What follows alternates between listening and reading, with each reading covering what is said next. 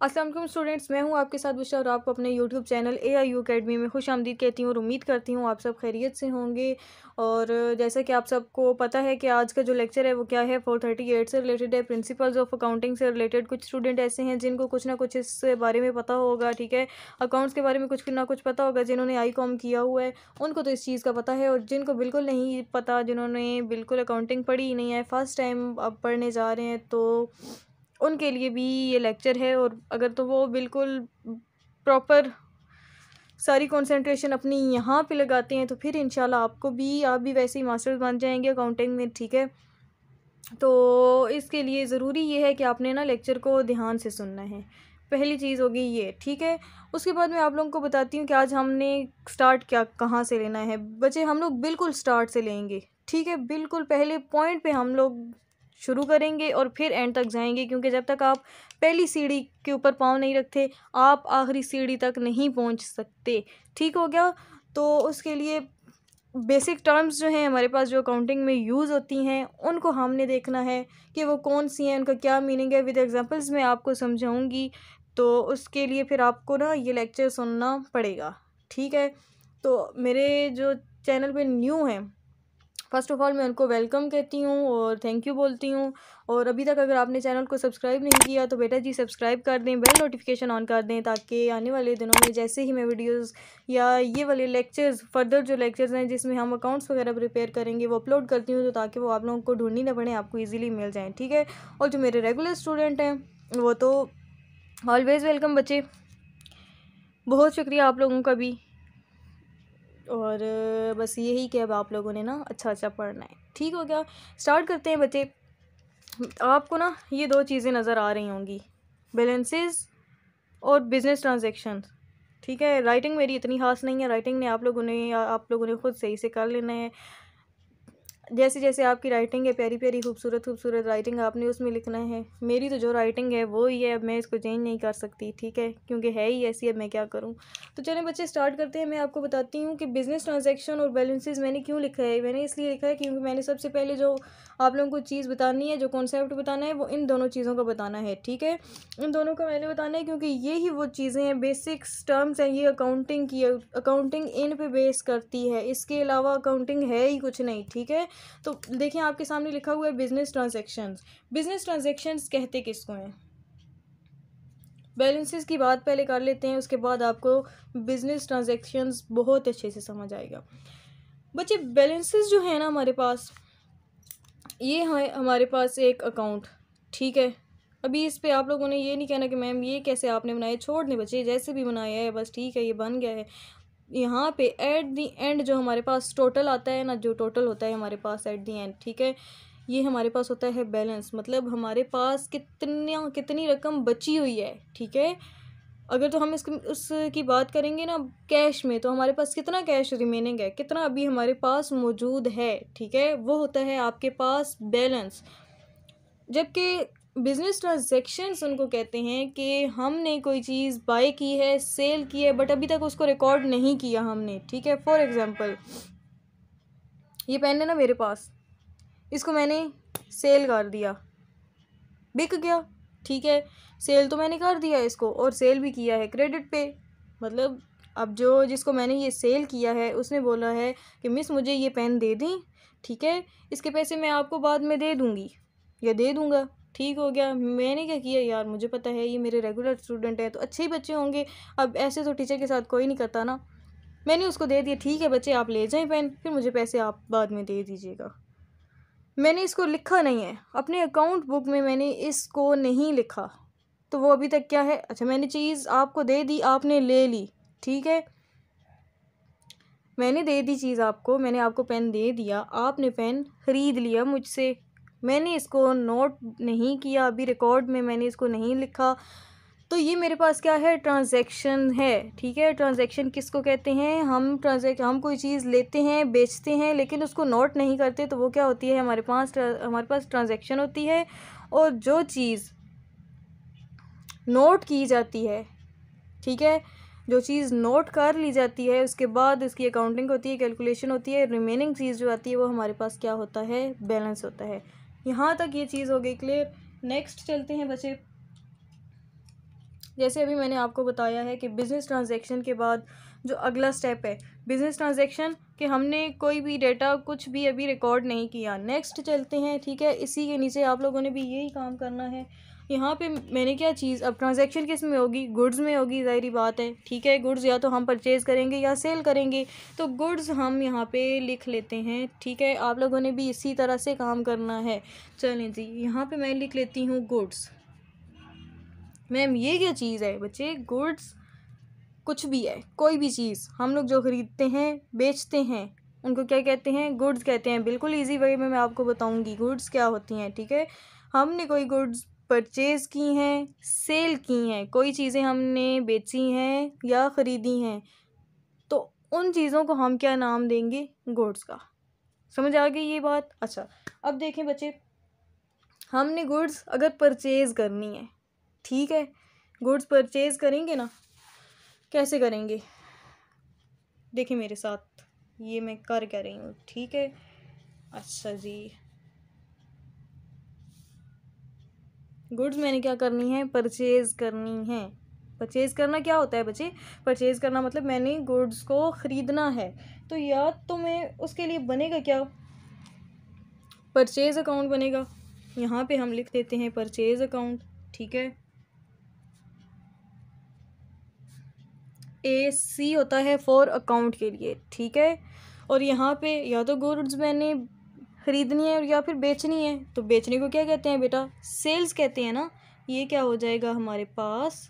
Sales account यहाँ तक clear है गुड्स मैंने या तो बेचनी है या सेल्स सॉरी या तो ख़रीदनी है या बेचनी है। मीन्स टू से या तो हमने गुड्स को परचेज़ करना है या सेल करना है। ठीक है?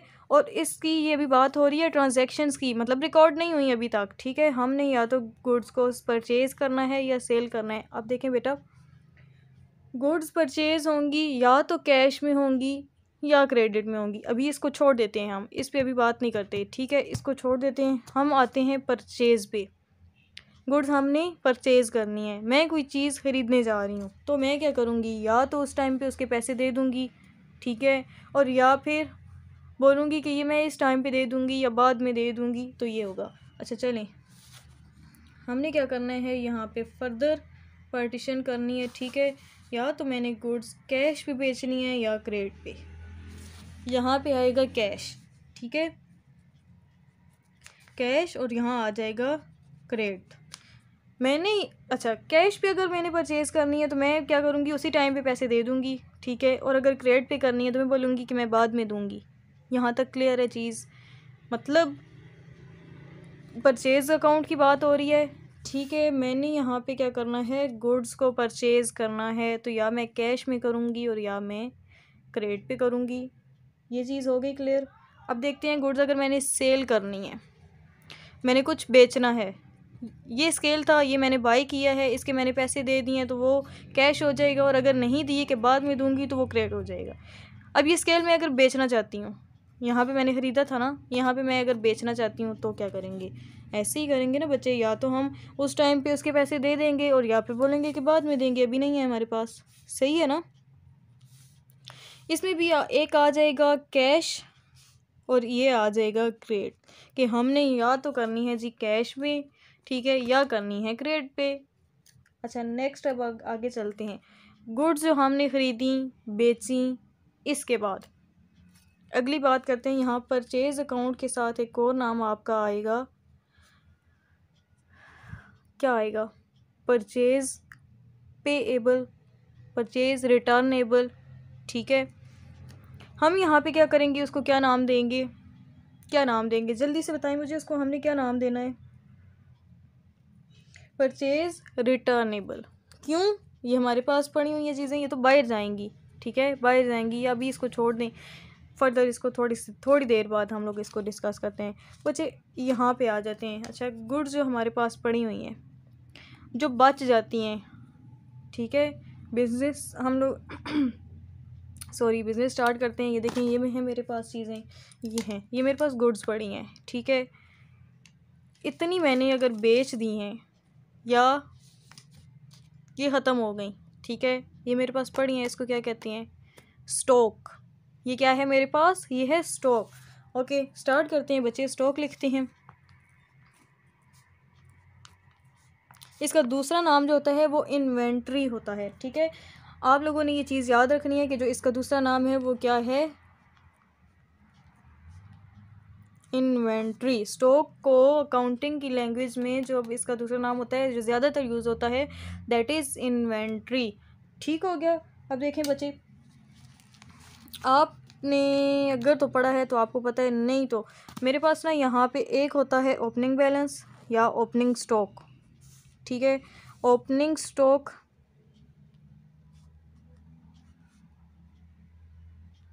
ठीक हो गया। ये होता है क्लोजिंग स्टॉक ओपनिंग स्टॉक क्या है? मतलब हम जब अकाउंट प्रिपेयर करते हैं तो पूरे साल के लिए करते हैं। फॉर एग्ज़ाम्पल कि ओपनिंग स्टॉक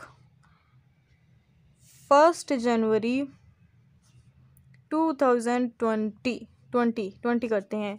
जो पिछला साल है ना हमारा, गुजर गया, ख़त्म हो गया, उससे करते हैं।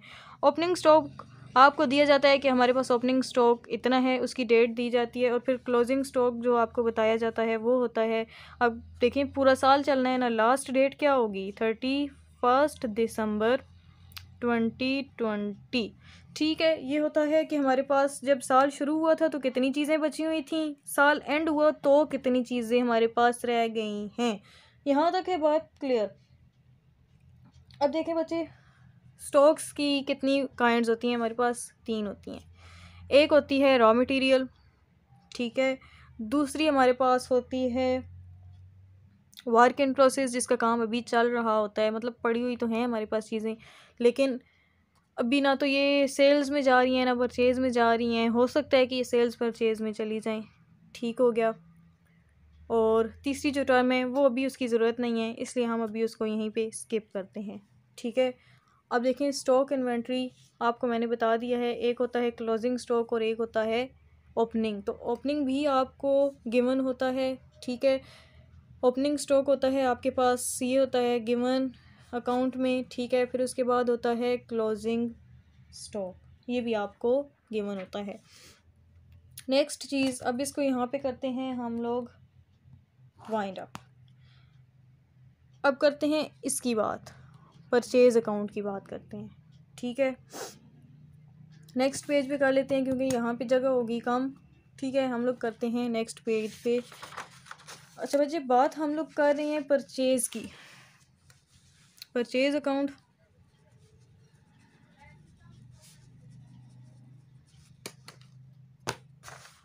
सेम यही काम करना है आप लोगों ने भी, ठीक है? तब आप लोगों को समझ आएगी अदरवाइज़ नहीं आएगी।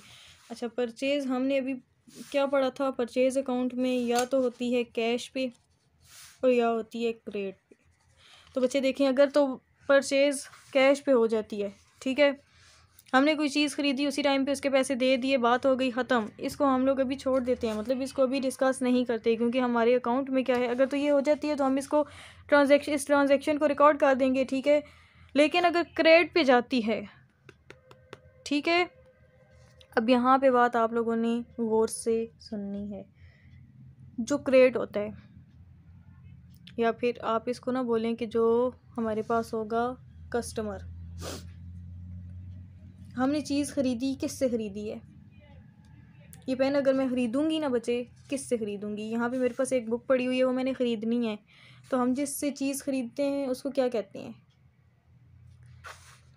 उसको कहते हैं ना कस्टमर सॉरी उसको कहते हैं सप्लायर। ठीक है, हमने क्या किया है? चीज़ ख़रीदनी है। किस से ख़रीदेंगे? अब मैंने चीज़ ख़रीदनी है आपसे। आप क्या हैं? क्या हैं आप? आप हैं सप्लायर। ठीक है, ये बात आपने रखनी है, याद। आपने क्या कर? आप कौन हैं? आप सप्लायर हैं, क्योंकि आपने क्या करना है? चीज़ को देना है। मुझे आप सप्लाई करेंगे। ठीक है? अच्छा मुझे अगर आप चीज़ सप्लाई कर रहे हैं तो आप कौन हैं फिर? क्रेडिटर हैं आप, ठीक है? क्रेडिटर, आप कौन हैं? क्रेडिटर। नहीं समझ आ रही मिस, कोई बात नहीं। अभी समझ आ जाती है आपको, ठीक है? मैं आपको बताती हूँ कि हमने करना क्या है इसमें। एक और चीज़ यहाँ पे आप समझ लें कि आपने अभी पैसे मुझे, आप बिकॉज़ आप क्रेडिट पे चीज़ मुझे दे रहे हैं ना, आपने पैसे नहीं लिए। मैंने अभी आपको पैसे दिए ही नहीं है तो यहाँ पे क्या होगा? Bill receivable. मिस, क्या करवा रही है? नहीं समझ आ रही। आ जाएगी ना? या फिर इसका जो दूसरा नाम है, उसको बोला जाता है बी आर बिल रिसीवेबल। देखें बच्चे, मेरे पास ये है बुक, ठीक है? ये मैं बुक ख़रीद रही हूँ, लेकिन मैं आपको बोल रही हूँ कि ये मैं बुक ख़रीद ली हूँ, ठीक है? मैंने बुक ख़रीद ली है। अच्छा उसके पैसे मैं आपको बाद में दूँगी। मैं जिससे बुक ले रही हूँ, ठीक है? आप चलिए मान लेते हैं कि आप ना एक शॉप पे बुक, शॉप पे काम करते हैं। मैं आपके पास गई हूँ ये बुक ख़रीदने के लिए, ठीक है? यहाँ बुक बना देते हैं। जैसी भी बनी है रे हमें इससे क्या? बुक ही बनानी है ना? बुक बना ली। अच्छा मैं ये आपसे ख़रीद रही हूँ। आप कौन हैं? आप मुझे सप्लाई कर रहे हैं। आप चीज़ मुझे प्रोवाइड कर रहे हैं ना ये बुक? आप हो गए सप्लायर, ठीक है? अच्छा बुक तो मैंने ले लिया आपसे। और सप्लायर को अकाउंटिंग की लैंग्वेज में क्या कहते हैं? क्रेडिटर मतलब आप क्रेडिटर बन गए हैं, ठीक है? अब देखें, मैंने बुक ख़रीद लिया और आपको बोला है, मैं बाद में पैसे दूँगी, ठीक है? तो अब आप क्या करेंगे? एक रसीद जो मुझे बना के देंगे, ठीक है? उस पर आप सिग्नेचर लेंगे, आप कहेंगे, पता नहीं, अब वापस भी आएँगी ये नहीं? ठीक है? आपको तो नहीं पता होगा। अगर मैं ना वापस आऊँ, मैं पैसे ही ना दूँ आपको तो फिर आप क्या करेंगे? उसके लिए होता है हमारे पास एक बिल, जिसके ऊपर वो लिखते हैं, ठीक है? दो कॉपीज होती हैं एक अपने पास रखते हैं और एक फिर वो हमें दे देते हैं। अच्छा उस पर वो क्या करते हैं? नेम, एड्रेस, फ़ोन नंबर वगैरह सारा लिखते हैं और फिर रसीद जो आपके पास, जो बिल आपके पास बनता है, उस पर आपसे सिग्नेचर करवाते हैं कि यहाँ पे करें ना पहले सिग्नेचर कि आपने पैसे अभी नहीं दिए। तो वो बिल जो है वो हमारे पास क्या होगा? रिसीवेबल होगा। मतलब इसका ये है कि बिल अभी आपने क्या करना है? बिल आप रिसीव करेंगे। ठीक है, आपने क्या करना है, बिल को रिसीव करना है। लेकिन यहाँ पे देखें, यहाँ पे सुने मेरी बात कि आप हैं सप्लायर मैंने क्या करना है यहाँ पे? बिल तो आपने चले सप्लाई कर दिया, लेकिन मैं क्या कर रही हूँ परचेज़ कर रही हूँ। तो परचेज़ में क्या करना है? ये तो आपके पास होगा। आप सेल कर रहे हैं सेल का अकाउंट आपने बनाना है, ठीक है? दो चीज़ें होती हैं ना बिल एक रिसीवेबल होता है और एक होता है पेएबल मेरा ये अकाउंट है परचेज़ मैं चीज़ कर रही हूँ तो यहाँ पे क्या आएगा मेरे पास? बिल पेएबल अब अगर बात करते हैं यहाँ पे, यहीं पे मैं बता देती हूँ सेल्स का, ठीक है? मैं सेल कर रही हूँ चीज़ को, आप अब ख़रीद रही हैं, ठीक है? यहाँ पे और काम किस पे हो रहा है? क्रेडिट पे हो रहा है, ठीक है। अब यहाँ पे देखें सप्लायर ये जब था, उसका परचेज़ का था, ठीक है। तो सप्लायर कौन था?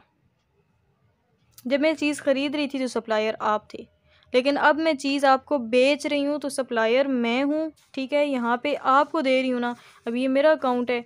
पहले मैंने जब ये वाला जब मैं परचेज़ चीज़ कर रही थी तो ये वाला था मेरा अकाउंट ठीक है? लेकिन इसमें मैंने क्या करना था?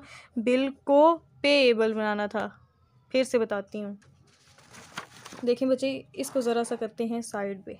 ठीक हो गया? अच्छा बुक ख़रीद रही हूँ मैं। क्रेडिट पे ख़रीद रही हूँ, ठीक है? लोन पे ख़रीद रही हूँ, अभी पैसे उसके नहीं दूँगी। क्लियर है? बुक ख़रीदी है मैंने। किस से ख़रीदी है? सप्लायर से ख़रीदी है? ज़ाहिर सी बात है। अब मैं कैसे, ऐसे तो किसी से नहीं ख़रीद सकती ना। आप मुझे बुक देंगे तो मैं बुक ख़रीदूँगी। ठीक है? अच्छा उसके बाद क्या है? आपको किसका नाम दिया जाता है? क्रेडिटर आपसे बुक खरीदी है, मैंने आपको किसका नाम दिया है? क्रेडिटर का। अब जो बिल बनेगा, जो बिल मेरे पास होगा, वो कौन सा होगा? पेएबल कि मैंने अभी ये पैसे पे करने हैं। ठीक है? बिल पेएबल या फिर पेएबल यहाँ लिखने के बजाय मैं क्या लिख लेती हूँ? B P bill payable. अब यहीं पे अगर हम सेल के अकाउंट को देखें, ये चीज़ क्लियर है ना? ठीक है, बिल क्या करना है? मैंने पे करना है, मैंने सिग्नेचर किए हैं इस बिल के ऊपर कि ये पैसे मैंने आपको इतने देने हैं, बट एक अकाउंट आपके पास होगा, जो होगा सेल्स का अकाउंट। ठीक है, ये तो मेरे पास परचेज़ का अकाउंट है कि मैंने ये चीज़ ख़रीदी है, ये बिल पेएबल है, ये मैंने बिल इस पर सिग्नेचर किए हैं कि मैंने इतने पैसे आपको देने हैं, मैंने ये बुक ख़रीदी है, आपके पास भी तो कोई रिकॉर्ड होना चाहिए ना? तो उसके लिए क्या करेंगे? हम बनाएँगे सेल्स अकाउंट वैसे मैं यहाँ पे अगर आपको बना देती तो भी कोई इशू नहीं था, लेकिन कोई बात नहीं। यहाँ पे हम अलग से बनाएँगे सेल्स का अकाउंट बनाएँगे। ठीक है, इसमें क्या करना है? इसमें भी है एक क्रेट ठीक है क्रेडिट पे हो रही है और दूसरा सॉरी यहाँ पे लिखना था कैश और यहाँ पे क्या हो जाएगा? क्रेडिट पे।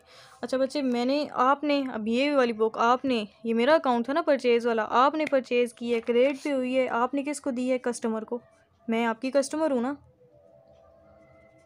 कस्टमर को आपने बुक दे दी। ठीक है? जिसको बुक दी है, वो क्या होगा? आपने जिसको बुक दी है कस्टमर उसको हम क्या कहते हैं?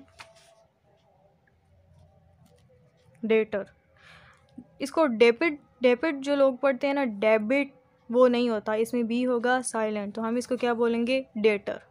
ठीक है? जब मैंने बुक बाय की थी आपसे आपसे जब मैंने बुक बाय की थी, आप सप्लायर थे, आपको मैंने क्या नाम दिया था? क्रेडिटर का दिया था। अब देखें, आप, आपने बुक मुझे दी है। एज अ सेल मैन आप देखें ना, आपने बुक मुझे दी है। और मैं कौन हूँ? कस्टमर हूँ तो कस्टमर को अकाउंटिंग में क्या कहते हैं? डेटर कहते हैं। ठीक है, अब आपके पास एक बिल, ये आपका अकाउंट है, ये आपकी रिकॉर्डिंग्स हैं। आपके पास, ठीक है, ये आपके पास रहेगा, वो मेरे पास था तो बिल पे, बल्कि मैंने बिल को पे करना था। यहाँ पे आपके पास क्या होगा? बिल रिसीवेबल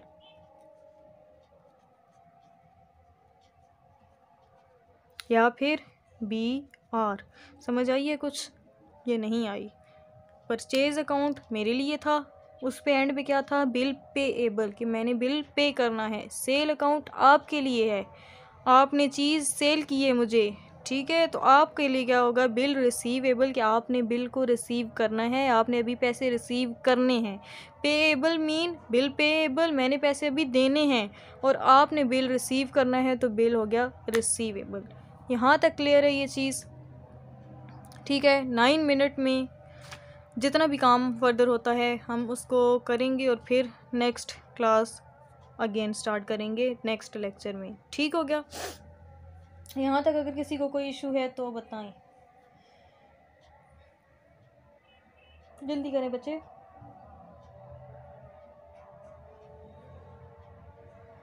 अच्छा आगे अब देखें हम क्या करते हैं। क्रेडिटर्स ये आप लोगों ने नोट करना है साथ साथ ठीक है? आप लोगों ने क्या करना है? इसको नोट करना है। बुक मैं आप लोगों की ही यूज़ कर रही हूँ। आपकी इस दफ़ा जो मैथ वाली बुक थी वो चेंज हुई थी, लेकिन ये वाली बुक जो है, ये मेरे पास चेंज नहीं हुई। मैंने आपको अभी तक बताया है सेल्स अकाउंट ठीक है? उसके बाद मैंने आपको बता दिया है परचेज़ अकाउंट का भी बता दिया है। फिर ट्रांजेक्शन्स बिल ट्रांजेक्शन्स में और बैलेंसेस में क्या फ़र्क है, वो बता दिया आपको। मैंने स्टॉक का बता दिया है, ठीक है? नेक्स्ट जो चीज़ हमारे पास यूज़ हो रही है अच्छा बिल पेएबल और बिल रिसीवेबल भी आपको मैंने बता दिया है ना, ठीक है? एक्सपेंडिचर्स बताती हूँ। नेक्स्ट है एक्सपेंडिचर्स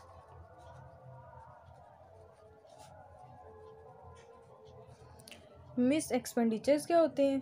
बच्चे, बताती हूँ ना एक्सपेंडिचर्स क्या होते हैं? देखिए एक्सपेंडिचर हमारे पास दो होते हैं। एक होता है रेवेन्यू एक्सपेंडिचर और दूसरा होता है कैपिटल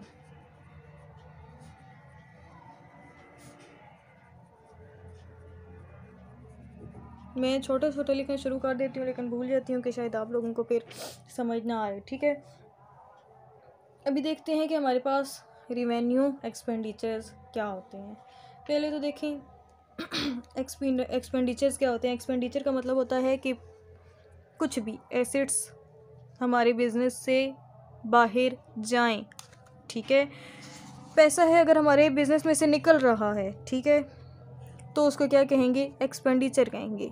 अगर हमारी कोई शॉप है फर्नीचर शॉप है फर्नीचर जा रहा है तो उसको हम क्या कहेंगे? एक्सपेंडिचर जाएँगे। मतलब एसेट्स का जाना क्या कहलाता है? हमारे पास एक्सपेंडिचर्स कहलाता है।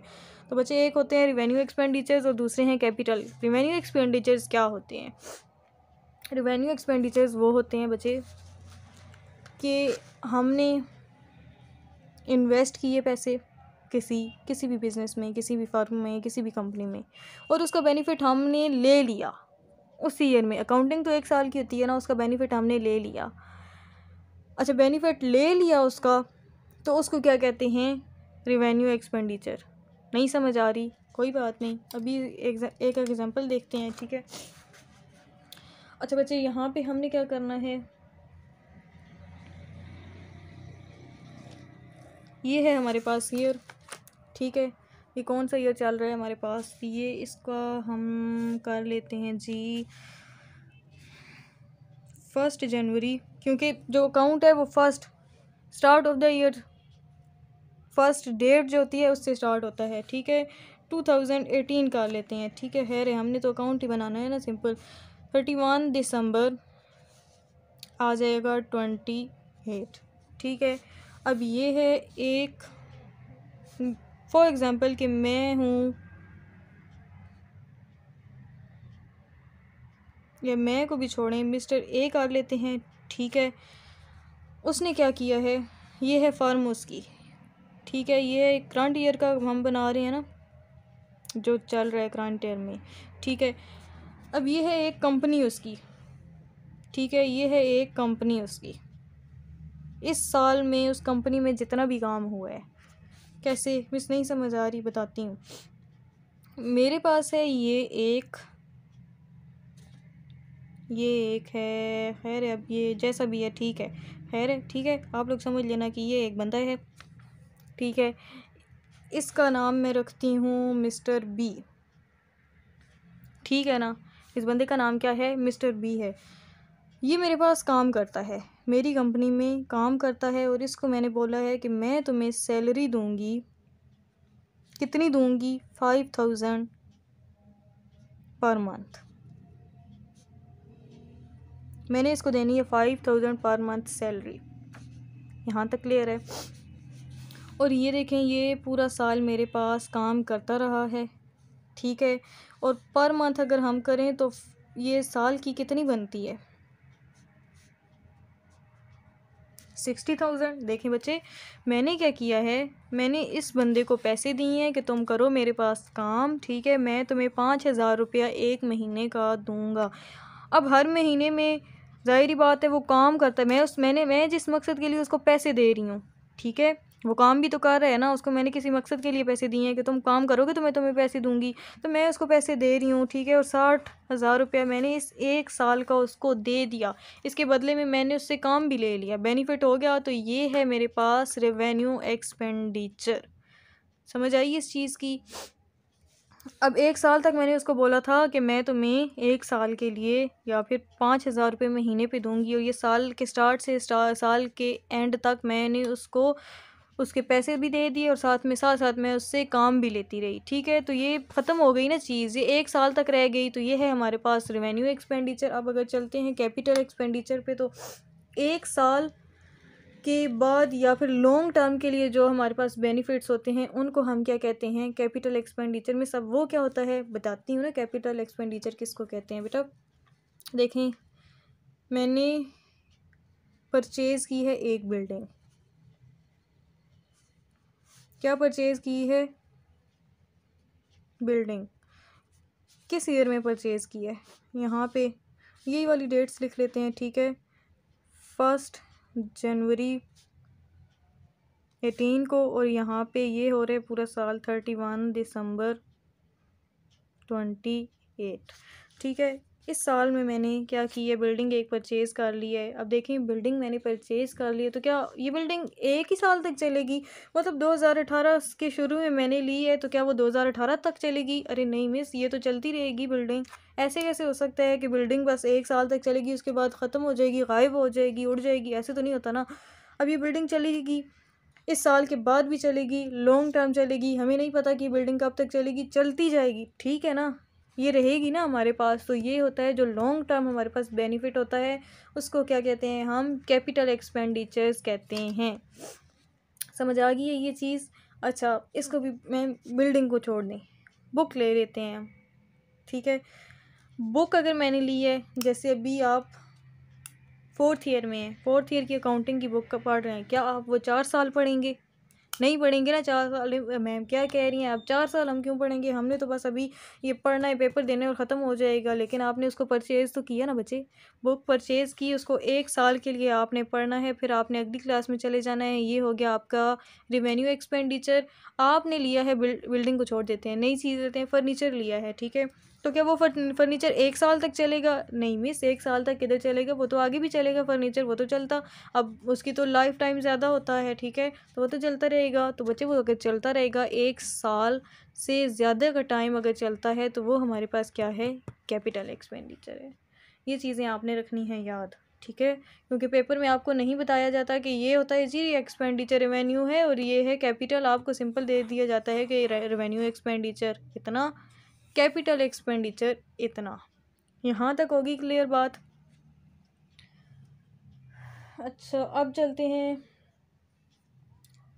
अगले टॉपिक के ऊपर, और मेरे ख्याल से वीडियो हो गई है कुछ ज़्यादा ही लंबी, लेकिन अब क्या करना है हमने?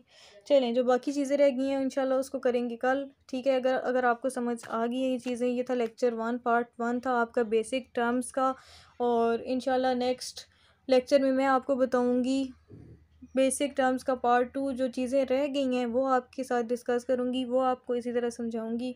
और वो तब मैं समझाऊँगी कि अगर आप लोग मुझे बताएँ कि आपको अकाउंटिंग समझ आ रही है, जो टर्म्स मैं आपको समझा रही हूँ, वो समझ आ रही है तो फर्दर फिर उसको स्टार्ट करेंगे। और अगर नहीं समझ आती तो फिर हम इसको ना यहीं पे ब्रेक कर देंगे, अगर आप लोगों ने बोला तो। वैसे इतनी इजी वर्डिंग में अकाउंटिंग आपको कोई भी नहीं समझाएगा बिकॉज़ आप ऐसा करें, आप लोग ना चेक कर लें लेक्चर्स और भी अकाउंटिंग के।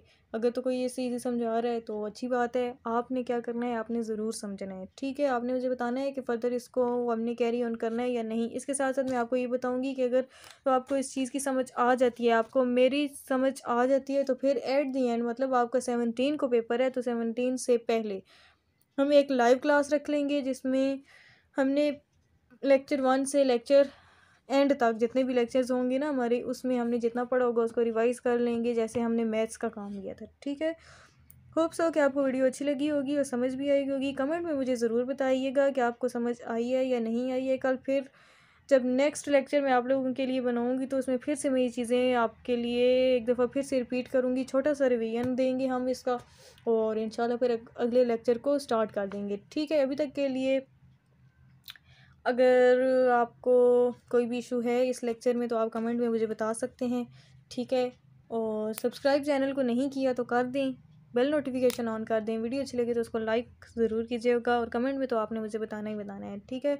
अपना बहुत सारा ख्याल रखिएगा, दुआओं में याद रखिएगा, खुदा हाफिज़, फ़ी अमान